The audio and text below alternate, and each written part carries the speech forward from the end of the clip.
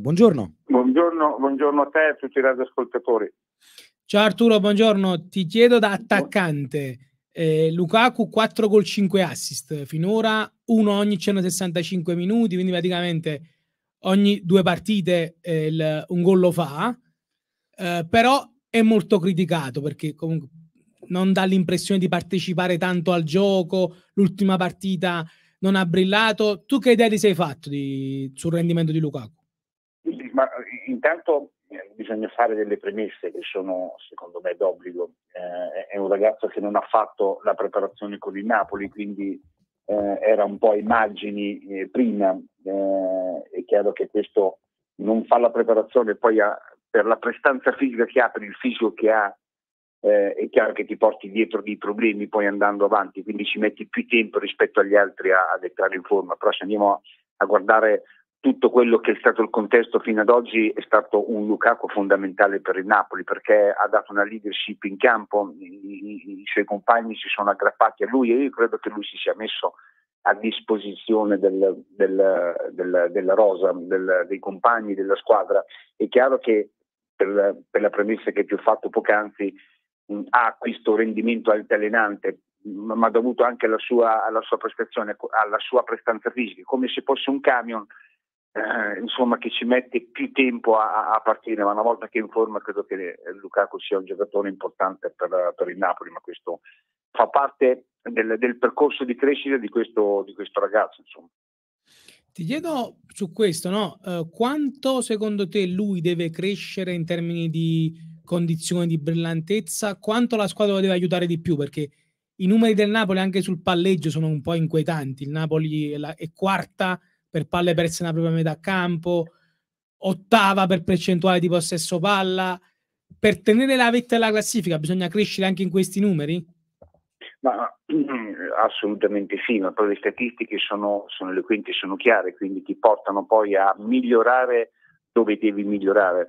Per quanto riguarda Lukaku e la squadra, io credo che entrambi debbano fare il proprio percorso. Lukaku è chiaro che si deve mettere del suo e, e giocando, continuando a giocare mettendo minuti sulle gambe con gli allenamenti, credo che questo poi alla lunga porterà alla forma ideale per, per Lukaku e riceverà poi dopo tutti i compagni e tutta la squadra.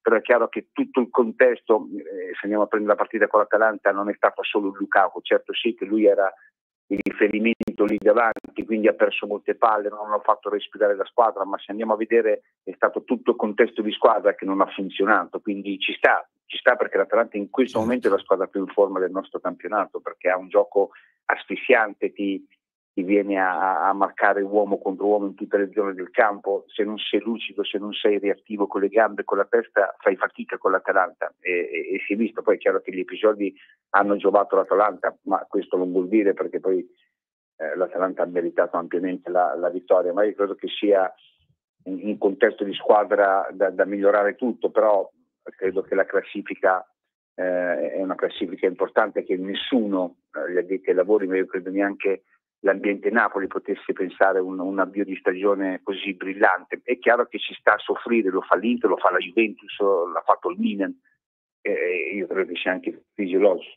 Nel contesto di squadra questo è il, l'andamento di, di, Conte da sempre, insomma un, una squadra arcigna, dura, eh, che è difficile fargli gol, anche se con l'Atalanta ne ha presi tre, però è, è, è, questo, io credo che il Napoli ad oggi deve essere strasoddisfatto del campionato che sta facendo, pur sapendo che, e ne sono sicuro che il primo è Conte a saperlo, che questa squadra deve, deve migliorare in alcuni aspetti.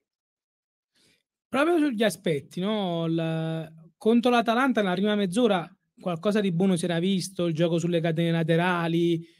Contro l'Inter, che eh, non sta avendo le certezze difensive della scorsa stagione. Che strategia secondo te utilizzerà Antonio Conte?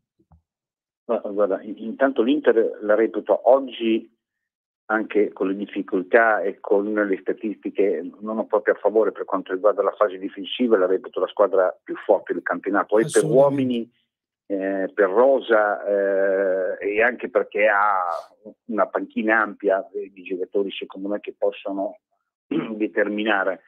Eh, è una partita che si gioca a viso aperto, eh, sa che, che, che, l'Inter, il Napoli sa che l'Inter ha, ha un gioco eh, collettivo eh, importante, quindi bisogna, essere, bisogna stare attenti, però il Napoli deve fare la partita eh, che, è quella di, di, di, di, massima attenzione perfetta quando giochi uno, uno, scontro diretto, quando giochi contro una big. Il Napoli sono due squadre forti, quindi non certo che il Napoli parte in battuto, nonostante, come ti ho detto prima, l'Inter io la reputo la squadra più forte del, del, del torneo. Grazie Arturo, grazie mille per il tuo contributo, alla prossima. A, a voi, alla prossima.